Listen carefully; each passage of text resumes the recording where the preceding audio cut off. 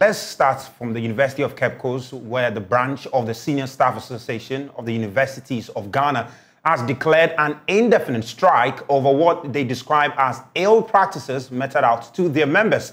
The group is asking for promotion of senior staff, appointment to senior membership, career progression, non-payment of negotiated allowances, and many more. There's more from this news conference in Cape Coast. As far back as May 2022, the association submitted eight grievances and concerns about some unfair and discriminatory practice being meted out to its members by the management of University of Cape Coast. At the news conference in Cape Coast, the chairman of the UCC branch of the Senior Staff Association, Universities of Ghana, Sandy Kumi Sinatra, indicated the association had on several occasions sent constant reminders on these grievances and concerns to management, but the management of UCC has paid no heed to them. Sadly, he indicated the management was unable to provide relevant source documents to back these unfair practices being meted out against the senior staff cadre. Management has not acknowledged receipt of our correspondence or responded to same since 9th of August 2022. We find this unfortunate as, as a managerial shenanigans to further aggravate the plight of the senior staff cadre. Ladies and gentlemen, is it a crime to be a senior staff in the University of Cape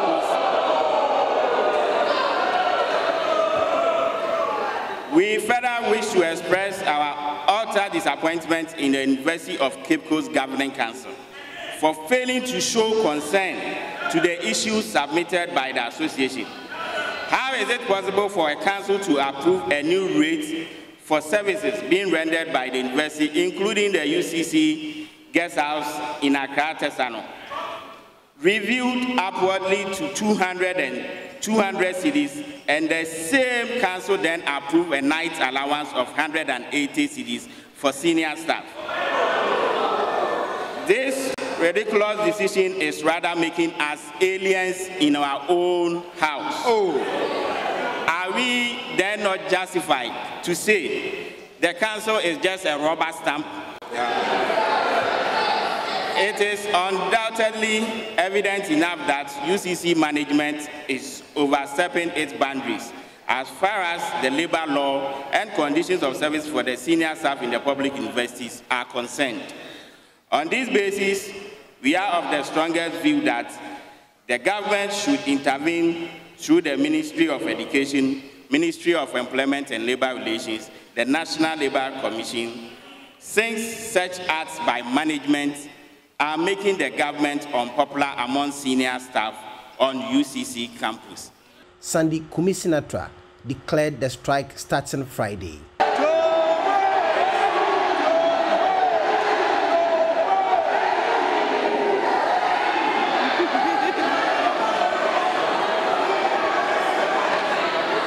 I direct that all senior staff should lay down their working tools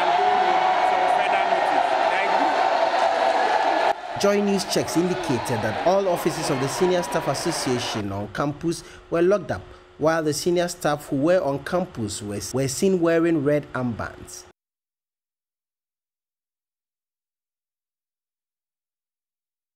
Now, some alumni of the Cape Coast Technical University want President Akufo-Addo to, as a matter of urgency, remove the council chairman of the institution. Uh, they say some of his actions could bring the university on its knees if he continued to stay in office. Emmanuel Kofi speaks for the group. We, the concerned members of Cape Coast Technical University alumni, Cape Coast, kindly bring to you your attention some development at the Cape Coast Technical University, which, if not checked, could bring the university to its knees. These negative acts are orchestrated by the council chairman, Professor Harold Amonu Kofi. Say, and point one, even though University Council is to foster linkage and collaboration with relevant national and international industries and institutions in furtherance of the mission of the Technical University. This is not the case at Cape Coast Technical University, as the council chairman has demonstrated per his actions that he does not mean well for the university. He has virtually kicked against decisions that will speed up development and progress at Cape Coast Technical University. Indeed, since assuming office in 2017, he has not initiated any linkage, collaboration, or lobbied for any development project on campus.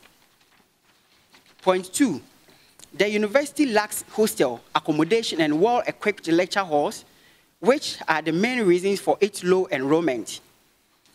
In remedying this negative situation, the university engaged a number of private developers to assist in this regard. Such initiatives have not been rolled out as the council chairman has constantly frustrated the process. For instance, before the old council was dissolved, discussions with the private developer on strategic projects had gone far.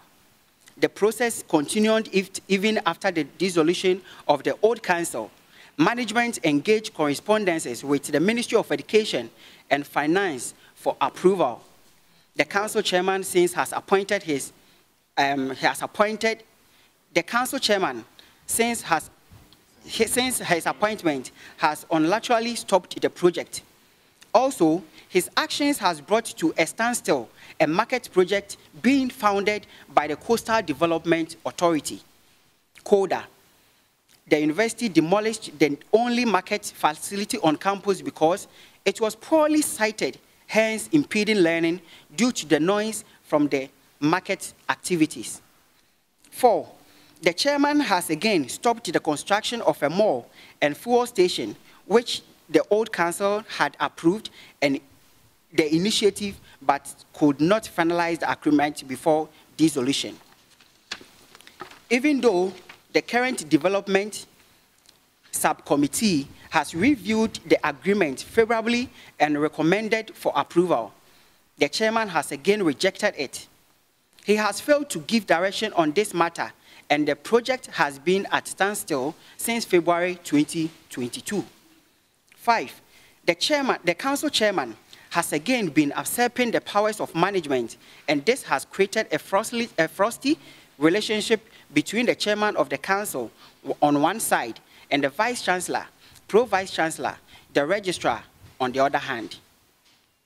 The council chairman gives instructions to the vice chancellor through the registrar regarding the, regarding the day-to-day -day running of the university. For example, he instructed the registrar to instruct the vice chancellor to call for academic board meeting just to, just to push his agenda through. Six, he has, he has been he has been nothing but divisive, dictatorial, and authoritative in pursuing a hidden agenda and also protecting his boy, Mr. Anthony H. Texan, who was CCTU Director of Human Resource, but now the Director of Public Affairs.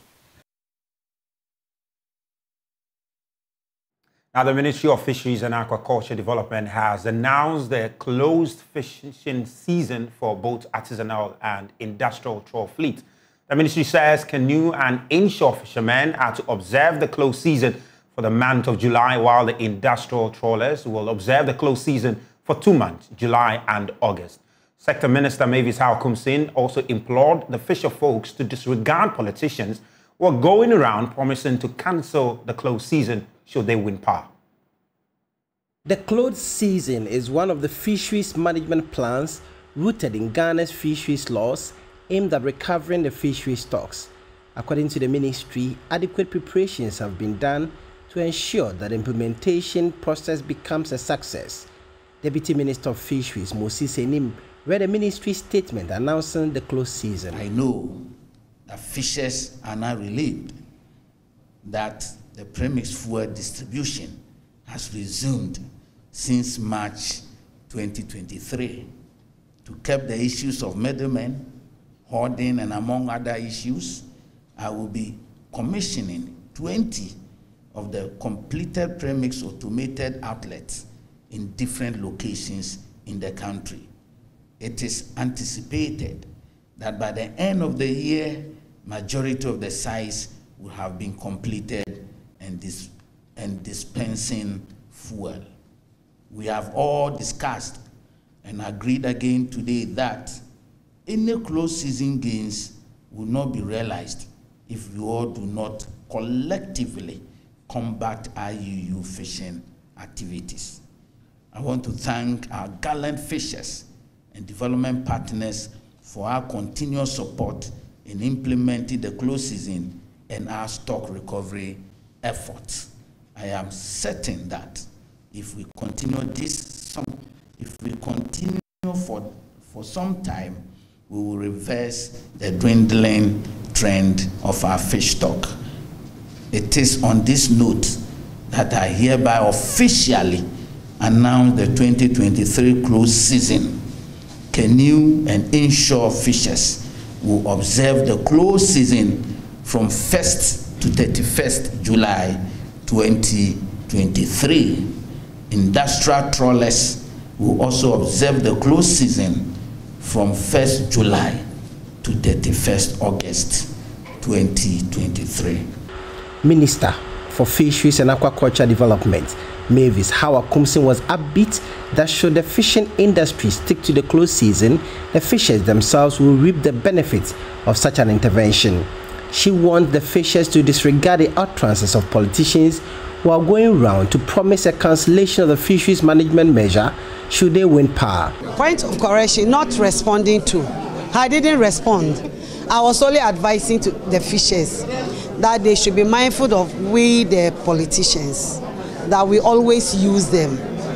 I don't see a reason why a former president of Ghana will stand somewhere and say when he comes, he will cancel the close season. The close season is a law. It's backed by law. And so if you say you close it, then I beg to differ. He was the president of this country and under his watch, there was cycle in this country. And we have all cried on this cycle issue that the trawlers are killing our artisanal fishers. So if you want to stop the cycle, then first of all, you have to also stop the, the, the, the artisanals also from doing their illegal activities. Then you can stop the industrial people. I mean, I wasn't responding to him. I was only trying to advise them and also let them know they are rather benefiting from this close season more than any other person. Uh, government does not take, I mean, does not enjoy in spending so much in observing this close season. When we tell you the amount that is involved, you, you realize that, well, it's not necessary for now. When the need comes, I'll let you know. The ministry revealed government was engaging Ghana's neighbors to entreat them to partake in the close season to ensure some maximum gains when seasons closes and opens. According to the ministry's report on last year's close season, there was an improvement in the stock of fish after the season and the fisher folk were generally excited at the developments. Reporting for Joy News from Accra, Richard Kwadwo Nyarko. Now, meanwhile, the Center for Coastal Management at the University of Cape Coast is calling for a coherent coastal management policy to address issues about economic activities that relate to the fishery sector. Speaking at the 10th anniversary of the center, Director Professor Dennis Worlanyo Aheto indicated such a policy will manage and improve the fisheries resources of the country. Speaking at a ceremony to mark the 10th anniversary of the Center for Coastal Management at the University of Cape Coast, Director of the Center, Professor Dennis Worlanyo Aheto, stated how the close season, if properly observed, will inure to the benefit of Ghanaians. We need to accept it as a country because uh, it's not just happening it's a, it's a it's science-based approach, you know, where uh, we close the sea for a season to allow the fish stock to breed. It's a management measure. It's just one of the management measures. Of course, there are other measures, which includes uh, closing the certain areas. It's not just closing the season. You may also decide to close certain areas or introduce quota systems, you know, and many other approaches. So Ghana has decided to engage on the close season, which is fine for industrial and artisanal uh, sector. Uh, but the major issue has not been so much with the industrial sector, but with the artisanal sector. because the timing uh, that the fishers want to do the fishing is usually different from what the science is saying. The science, uh, the closing the sea for small-scale artisanal fishers targets the small pelagics, particularly the sardines, which breed at their peak season in August, which we the scientists have proposed to close the sea. Unfortunately, stakeholders and fishers think that it should be earlier, you know, which does not really coincide with the peak season, and that is really where the issue is. Uh, and I think that so far the efforts that government put in place, um, I think we were able to have close seasons, even though we're not at the right timing. So we hope that it should be timed in a way that we don't do the wrong things and at the end of the day see our stocks all collapse. He also called for a coastal management policy for the country. Currently in Ghana, we don't have we don't have any straightjacketed coastal management policy. All the policies are hedged in different uh, institutions. We do not. We need to have a coherent coastal management policy for the country, which will address in a concerted way uh, issues to do with the blue economy, referring to all the economic sectors, not just fisheries, but also all the economic activities, is salt production, energy, you know, mining and all that around, around and within coastal areas, you know, so that there's a strict jacketed policy, not hedged in the Ministry of Fisheries or Environment, but really a policy that speaks to how we manage our coast. And of, to date, we don't have anything like that. And I think you certainly need a policy with a legal backing that then straight uh, feeds into a process, a management process. And we don't have that. And the Vice Chancellor of the University of Cape Coast, Professor Johnson Yakubu applauded the management of the center for the giant strides it has taken since its establishment. I want to use this opportunity to encourage other departments and centers in the university to emulate their worthy efforts, especially in the area of grantmanship, research, and partnerships. Finally, I wish to urge members of the university community to fully support the center and participate in the series of events lined up within the year for the celebration of the Dickers achievements. The center is on, on the verge of entering into partnership with the European Union through the EU CONEXUS, a strong partnership arrangement among nine universities in Europe Now, Vice President at Imani Africa, Kofi Bentil, is asking the National Peace Council to name and shame political actors who use intemperate language with the potential to disturb the peace of the country. Their great minister, Bryan Acheampong, and former President John Mahama have been in the news this week over comments made believed to have the potential of inciting their followers to foment trouble. Speaking on Newsfile, Kofi Bentil said the Peace Council has a major role to play in calling the two political parties to order.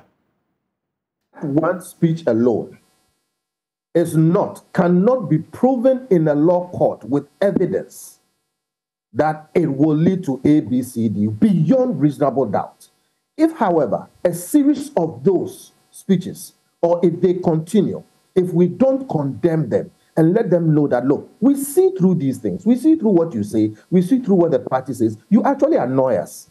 And I'm telling you, they've lost some independent votes by some of those things. But to run it through a criminal accusation process, prosecution, it doesn't rise to that. We'll send ourselves through unnecessary stress.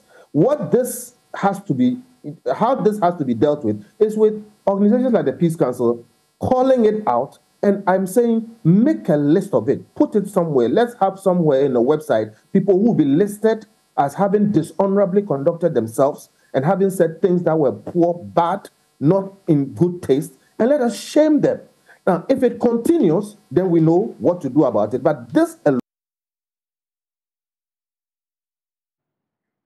Now, a fellow at CDD, Dr. John Osae-Kwapong, also called on the Peace Council to deepen its collaboration with the various political parties. I think the Peace Council, for example, can work with you know a major uh, a major political parties. Yes, I'm sure the parties cannot quote unquote control what everybody is going to say at any given moment but at least um, our favorite word in Ghana, you know, synthesize, right? You uh, uh, sensitize, right? You can find ways to continue having these regular dialogues with our key stakeholders in the electoral uh, in the electoral process to make sure that uh, you know they understand that it's our elections are quote unquote not a matter of life and death, right? That if it's a matter of life and death, it has to be more about the future of our country. Which direction do we want to take the country? What kinds of policies do we want to to prevail, right? And in articulating and discussing and debating those, we should also at the same time make sure that our, our, our temperament doesn't ratchet up the temperature over something that, you know, t- tends to generate um, a lot of heat. But I think the Peace Council should continue to find ways to work with um, uh, with our with, with our key stakeholders. Now, some selected judges and members of civil society organizations have validated a Commonwealth Human Rights Initiative Right to Information Training Manual for judges in Ghana. The initiative says the efforts leading up to the passage of the Right to Information law were marked by robust civil society advocacy, including engagement and lobbying of the legislature and the executive. Programs manager for the initiative, Esther Poku Eduhine, says the training manual will help apprise judges of both local and international dynamics of the law. The Commonwealth Human Rights Initiative, in partnership with the Coalition on the Right to Information and then the Judicial Training Institute saw it's necessary to come up with a, a guide, something like a guide mm. to be used to support the training of judges on the interpretation of the access to information law mm. because of course when somebody is denied access and the person goes to the to court the person is expecting that um, the person's rights will be adhered to or will be promoted. So what we are seeking to do is that, of course, we all know that the right to information is a constitutional right. It's already with with or without a right to information law, it is a right. But this is also a part of part of a process to support the uh, implementation to support because we know that the, those um, who are supposed to make decisions when it comes to when somebody applies the law also uh, need some technical support mm. to be able to make the right kind of decisions. There are international standard, there are international best practices. So we thought to put all this information together. And Ghana is not the only country that has taken this path. There are so many countries that have gone ahead of us. Mm when it comes to uh, right to information. So we thought it wise that we will gather evidence from other jurisdictions when it comes to um, court decisions, mm. court decisions on RTI. What does it take? What does it mean? What are what are they saying on other jurisdictions? Just to guide us, so that it means that for us we are even um, we are in the safe hands because we have the we have the room to learn from other countries the best practices we have the room to adopt those that are good and then also manage some uh, the, the, the bad decisions that come up so this is basically one of the uh, one of the process to support the successful implementation of Ghana's right to information law. Now, the Director of Advocacy and Policy Engagement at the Ghana Center for Democratic Development, CDD Ghana, and a member of the RTI coalition, Kojo Pumpuni Asante, said the endorsement by the key stakeholders has now given the Judicial Training Institute the green light to go ahead and train judges with the manual. That part of that RTI can really transform our records keeping and management and retrieval systems. Mm and we need to put money. It's, really need some resourcing. Our current economic situation obviously makes it harder, you know, to kind of push the agenda across institutions. But we might identify certain institutions that are so critical to nation building that we start with them and say, let's resource them so that you know it can improve the access to information generally. We had a validation meeting with the judiciary on a judicial training manual on the RTI. I think even when we were fighting for the passage of the bill, one of the things that I think everybody was concerned about was to make sure that judges are apprised with the, the law, they understand where the law is coming from, what its objectives are, its purposes, so that when they are interpreting the law, they have a better grounding of how the law is being applied, not just in Ghana but internationally. So it's come, I mean, we've taken a long time to come to this point, but we had the Judicial Training Institute here.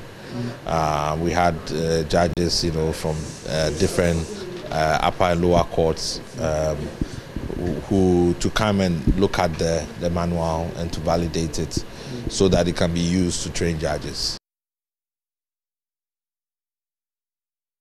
Now, the Pension Bondholders Forum says it will resume its picketing at the premises of the Ministry of Finance if the government fails to pay all outstanding coupons and principals of bond investment by April 28, 2023. This, uh, they believe, will put an end to the payment delays. There is more in this report.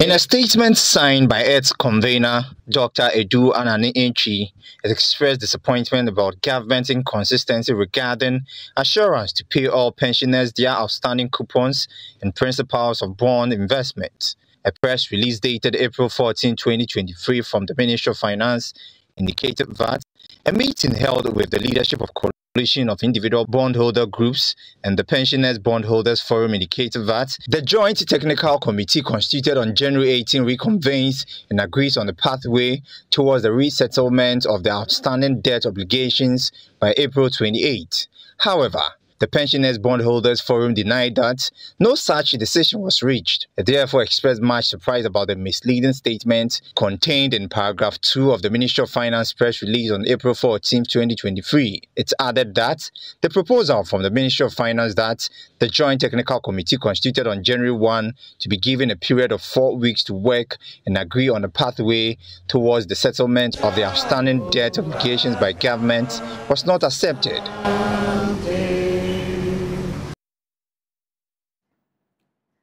Now, the Ridge Church School has established an educational trust fund. The fund is to help construct a senior high school in order to accelerate the provision of quality education to all.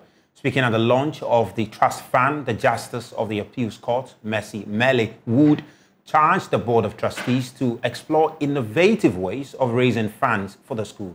Joy Prime Shola Adeyemi has more in the following report.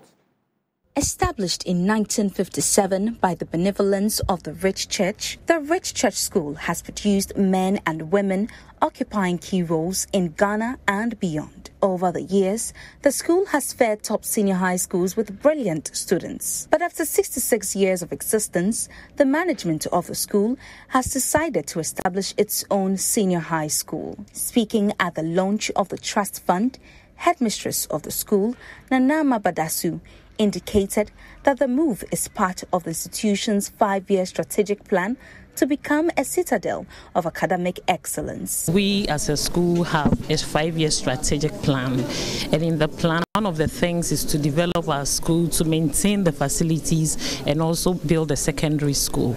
And we realized that we can't get the money in bulk and so there was a need to set up a fund that people can donate from time to time so we can have consistency. I'm very excited that it is this dream has been harnessed for a very long time and I feel excited being part of it to see the dream come into reality. So I'm excited. The establishment of the trust fund will win the school of the Accra Ridge Church while augmenting the government's efforts in providing quality senior high education. As a member of the Ridge Church School Board of Governors, Madame Grace Dede Hansen appealed to all stakeholders to help establish a school that is responsive to the needs of the job market. We are saying to the alumni and friends, we need your help. Please come to Ridge Church School and help us. Come and help us set up a modern 21st century top senior high school that has STEM as its focus, combining both the national and international curricula at an affordable cost. The Justice of the Appeals Court urged the trustees of the fund to carry their mantles with diligence to help the school achieve its goals. The trustees who have been carefully selected. I'm reminding them of the tenets of accountability, transparency, and keeping the purpose of the trust fund in mind. I charge them to find innovative ways of generating income. All stakeholders have to be given regular information. The Ridge Church School Trust Fund is expected to raise about 200,000 Ghana cedis as seed money. This will also help upgrade the existing facilities, provide scholarship to deserving learners, and improve academic programs. Lois Adeyemi's report for Joy Prime. Now, Divine Mission Academy has emerged winners of the fourth edition of the Love FM Primary School Quiz. The first-time finalists outsmarted 2022 champions Mana International School by a nine-point margin to clinch the bragging right as the best primary school in the Ashanti region. Emmanuel Bright Kweku has highlights from the fiercely contested grand finale. Sacrilegious S A C R I L E G I O U S sacrilegious. And that is correct for three points. The third contest of the semi-finals of the Love FM Primary School Quiz has been fierce. Contestants of the three participating schools thrilled the audience with a traffic battle of wits. At the end of the contest, Divine Mission Academy came first after beating last year's finalists, Hansi Gold Community School and Amazing Grace School. The contestants of Divine Mission Academy are optimistic of victory in the grand finale. The strategy was that uh, we depended on God, we prayed on God, and we studied hard on all the assignments that they gave us. So, going forward, that is the final stage. You're at the first school qualifying. What are we to expect from you in the final stage of the quiz? We are going to win. This time, we are going to take the trophy from Mana International School. It was a tough contest, to be very honest. Some of the questions were jaw dropping, but you know, we prepared our kids. And as the saying goes, teamwork makes the dream work. And as in the famous words of my school director, hard work pays. And so we worked hard, we've put in the work, we've done everything, we prepared fully for this contest. No matter how it challenged us, we came out at the top as winners. Meanwhile, Hansi Gold Community School and Amazing Grace School are not relenting in coming out strong next year. Next year, we are coming to come back with a lot of armor. This time, we are just coming to try it for the second time, but our armors were not tough like that. So next year, when we are coming, we are bringing a lot of armor. You know, every level of this competition gives you another opportunity to learn. And today was really tough. Today, the dimension the question went, we, we, we were really struggling. So this space um, paves another way for us to study. It opens our eyes to a lot of things to study. We have a lot to study. So, what will be your preparation going forward? Obviously, we, we came this this very um, contest with the mentality to win. Uh, unfortunately, it didn't go our way. We will go back to the drawing board and then do one or two things, correct one or two mistakes, and then come back next year stronger. So this is the Divine Mission Academy School. They primary school quiz. They proceed to the final stage of the contest. Will they win the fourth edition of the Love FM primary school quiz? For Joy News, my name is Nana Boachi Dankwa Away from that, traders at the Akwatia line are up in arms against the Asokore Mampong Municipal Assembly over attempts to pull down their shops for the construction of a new market. After failed attempts in the past seven months for the traders to voluntarily evacuate, the assembly moved to site on Friday to evict the traders. But the exercise was resisted as the traders engaged the police in a confrontation that got two injured. Love FM's Nana Boachi Yadom has more in the following report. The new market project at Akwatia Line was expected to commence seven months ago, but the traders were not pleased with the resettlement process. Hundreds of traders took to the streets to express their displeasure over the relocation exercise when the project contractor and the municipal assembly visited the site. Secretary of the Traders Association, Mohammed Umuri, says the authorities have failed to secure a permanent place for the traders before the relocation exercise. He accused the police of attacking the protesting traders.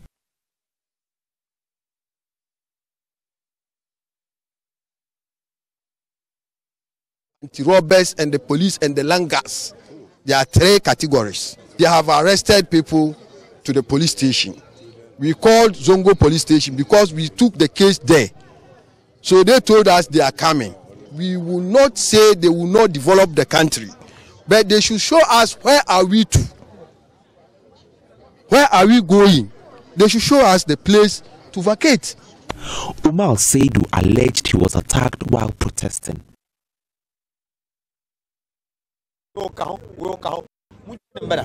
ɛna mi sɛ ah maa yɛ dɛ nti ɛnu ano sɛ wɔn twi mi efiri fie no hɔnom ne pie. Wɔn twi mi fie na na baako dua.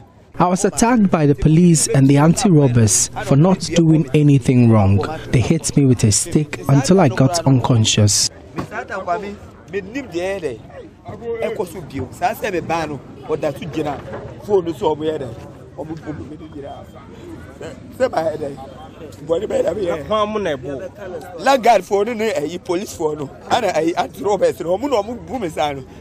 Some of the traders say their livelihoods are threatened if the assembly goes ahead with the eviction without alternative space for them to trade. If they evacuate us, things would be difficult because I have children I am taking care of. They have also not given us anywhere to move to.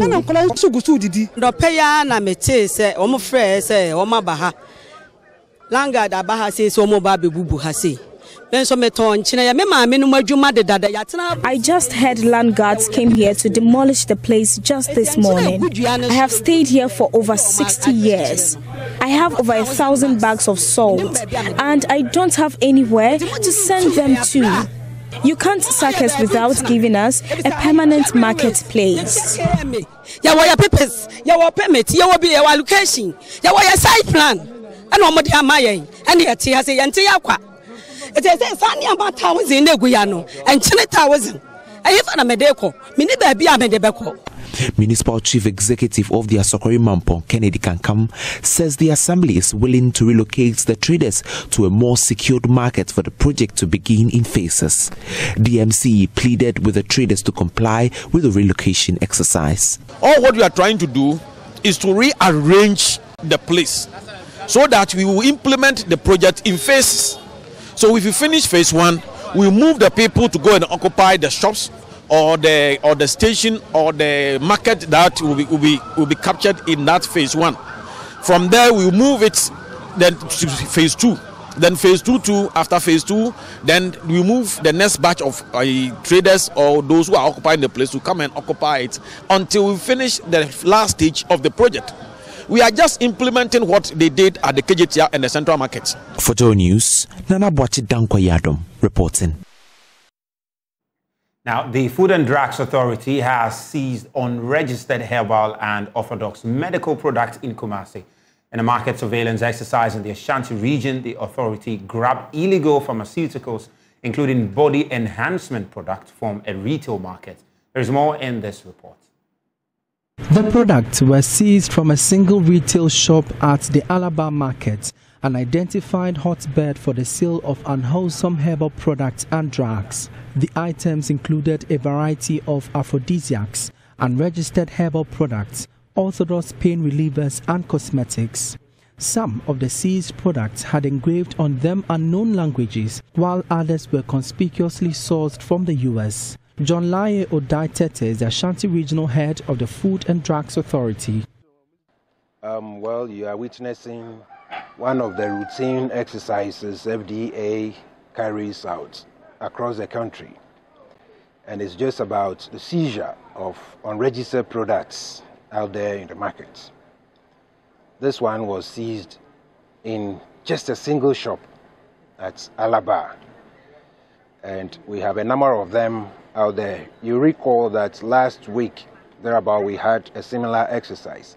And the Ashanti Regional Office is going to sustain this exercise. We are working with our collaborators the Ghana Police Service. They have been of immense help. And we're going to ensure that products that are not registered, especially the medicinal products, which are dangerous, will be gotten rid of from the markets. According to the FDA, the seized products will be destroyed through incineration. The authority observed with worry the perpetual penetration of illicit medicinal products on the market. However, the authority says it is mapping the entire region to smoke out perpetrators and bring them to book. Well, um, we do a lot of surveillance, yes, and, and scouting. and we are mapping the entire region so that wherever we have these things sold, we'll just move to those areas to get rid of them and to arrest the perpetrators.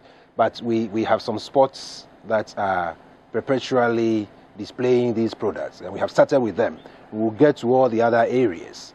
So um, we want to advise, really, those who are into this kind of illegal trade to rethink their activities because we'll come at them. A growing trend on social media is the sale of these unwholesome products. The FDA is collaborating with the appropriate quarters to rid the internet of the advertisement and sale of such unwholesome products. John Laetete cautions the public against patronage of unregistered products. Visit the hospital and get a prescription. You are not supposed to buy medicines like you buy toffees. No, medicines are sold at designated places. And we expect that pharmacies, over the counter medicine shops that are licensed, and licensed herbal medicinal product shops are available. And you need to move in there with your prescription, if any. Our communication directorate is also working with those um, advertising agencies to ensure that the appropriate thing is done. However, as we clear them from the market, those who are selling online will have nothing to supply. Already, three persons arrested for similar offences have been arraigned before court. For Joy News, Emmanuel Bright Kweku reporting. Now to the Bono East region now, where a young artist in the Nkoranza municipality, uh, Mark Pencil, is urging government to establish art studios across the country to hip hop interest as well as encourage the youth into venturing in the art trade. Anna Sabit report from an event to mark World Art Day, celebrated to honor the contribution of artists and promote the importance of art in our lives.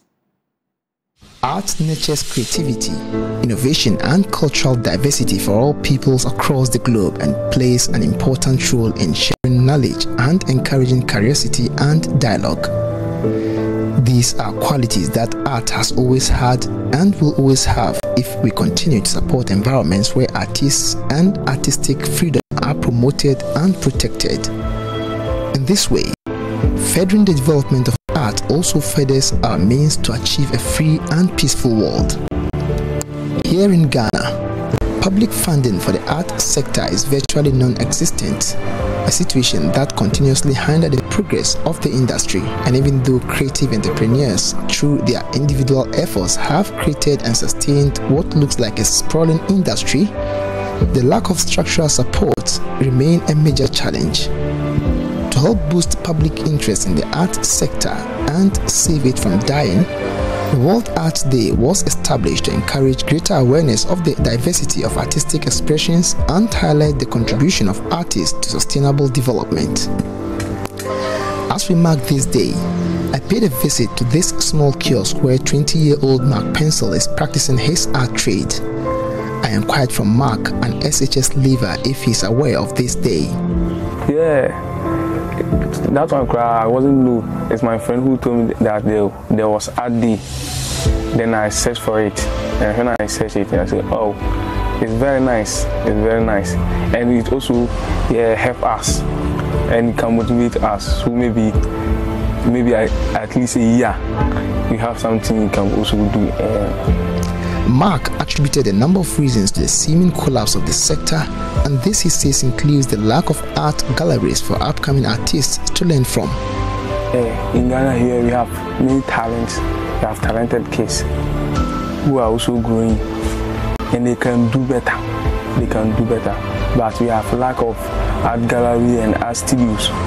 So the, the kids are not able to start from their start their career when they were, they were born. Yeah.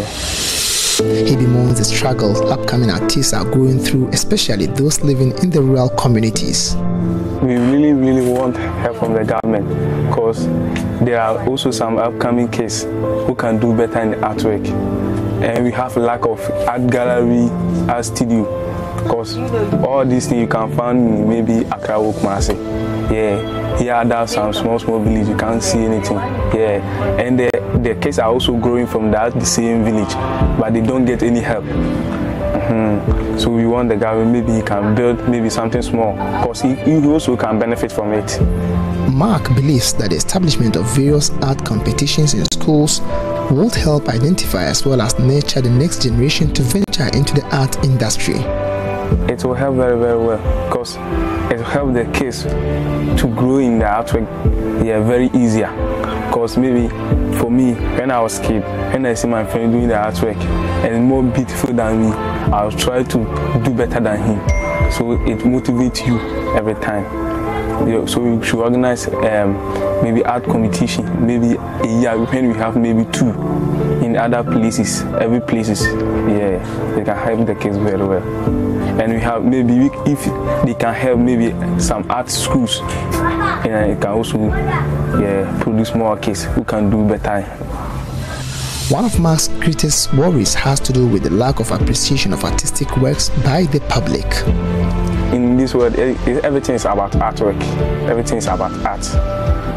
Because the shirt you are wearing, the shoes and the clothing, even the walk, the way you talk is all about artwork. But they don't appreciate it. Yeah, they don't appreciate it. So if the, if the government can help, maybe we have maybe competitions every year. So maybe the winner will come together and maybe challenge the artwork and can also help the kids. Uh, well, the World Art Day essentially draws attention to the development of art and its links to innovation, its ability to bring about change as well as unearth hidden potential. The day also serves as a timely reminder that art can unite and link societies even in the most difficult circumstances. Anna Sabit, Joy News, Nkoranza.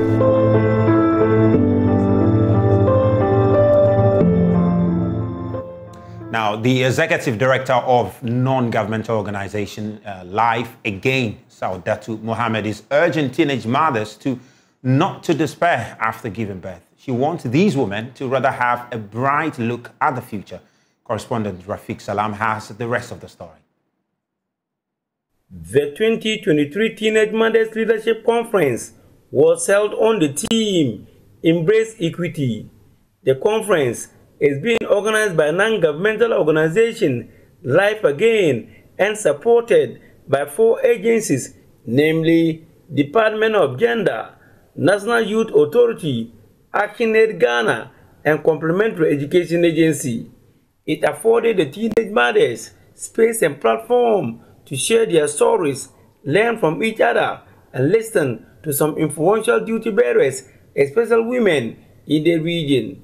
They also had opportunity of listening to their mentors who once upon a time found themselves in similar situation but did not let their guards down. Founder and executive director for Life Again, Saudatu Mohammed, threw the light on the work of her outfit. Once they become pregnant, everyone in the society neglects them.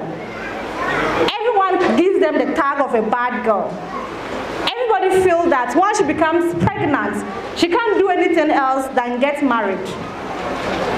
We are here to give a second chance to those girls, to prove to society that there are lots of potentials in these girls and they can still do a lot. And that marriage is not an option. Madam Saudatu Mohammed noted that their aim is to create a world where teenage pregnancy is no hindrance to girls' empowerment. We go beyond prevention because we believe that when it comes to fighting and winning the fight against teenage pregnancy, prevention is not enough. So we go beyond prevention to empower victims of teenage pregnancy. Girls who have already become victims of this problem, we don't neglect them. We don't leave them to their own fate because they are still kids. So they're basically children having children. Speaker after speaker at the conference encourage the teenage mothers not to be in despair over their current situation, giving them hope of a brighter future. Our main aim is prevention. But in the process of prevention, if we are not able to prevent, and some of our girls fall into it, what do we do? That is where the re-entry concept or guideline policy came in. When you fall and you lie on your comfortable zone, you will never come out. The is telling us that we need to act.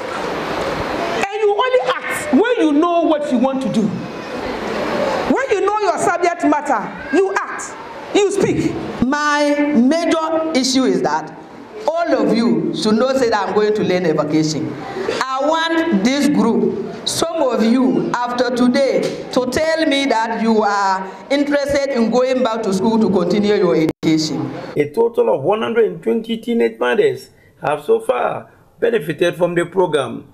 15 of them are back to school, and majority of them are into skills training, notable weaving, soap making, and batik tie and dye. Annabelle Wogona was 16 years and at junior high school when she became pregnant, thus incurring the wrath of the parents threatened to sack her from their home.